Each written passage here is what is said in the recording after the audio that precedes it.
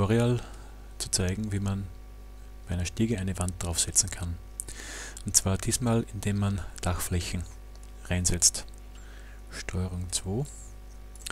Ich mache Dach, Einzeldach, Dachaufsitzlinie mal irgendwo. Also die falsche Seite zurück. Nochmal. Nochmal, Dachaufsitzlinie irgendwo. Hierhin steige ich und dann zeichne ich eben mein Polygon des Daches. Egal wie. Gehe in den Schnitt. Habe hier das Dach jetzt drinnen. Äh, mache mir eine Hilfslinie. Kopiere mir die Hilfslinie einen Meter nach oben.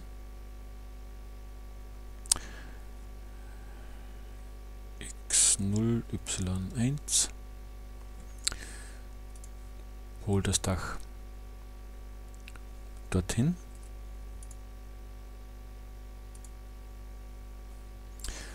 Mhm.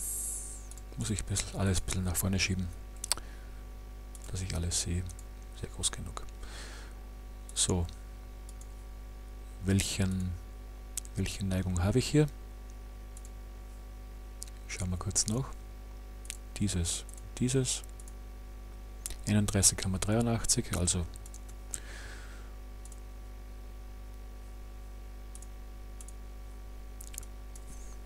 einunddreißig Komma auch drei.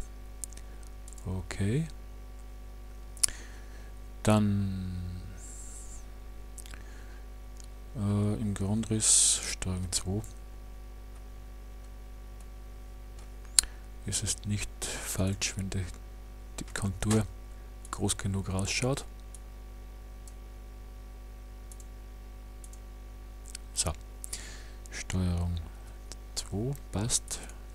So, jetzt kann ich durchaus diese und diese verbinden. Moment, dieses und dieses markieren, rechte Maustaste. Mag er nicht. Okay. Muss aber gehen. Muss gehen, muss gehen, kann ich so auch. Wenn ich das mache, ist es halt dann nicht mehr... Äh, ja, ich mache es mal. Trimmen. Wenn ich das jetzt weglösche, einfach, ist die Wand wieder da. Also darf ich das nicht. Zurück.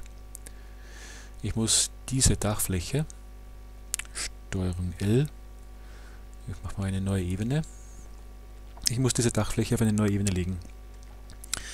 Äh, Stiegenwandabzug oben. Okay. Okay.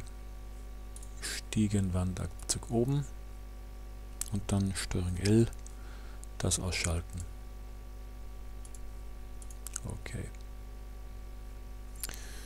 Wenn ich das jetzt im Grundriss ansehe, Mhm, hat es nicht gemacht. Stiegenwandaufzug oben. Jetzt ist es weg.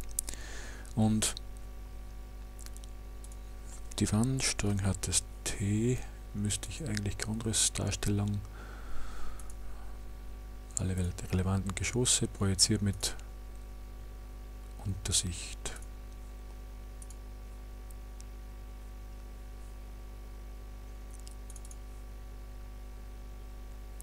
Müsste ich eigentlich jetzt bis hierhin sehen. Nein, Blödsinn, bis hierhin. Ah, bin ja, bin, ja, bin ja drüber, ist klar. Ein Geschoss drüber. Sehe ich komplett drauf, oder? Schauen wir nochmal. Ja genau, da bin ich unter dem Meter. Das stimmt. Das ähnliche kann ich jetzt mit der Untersicht machen. Ich kann mir wieder ein Dach hier hinlegen und das dann unten wegschneiden. Geht ja auch. Danke.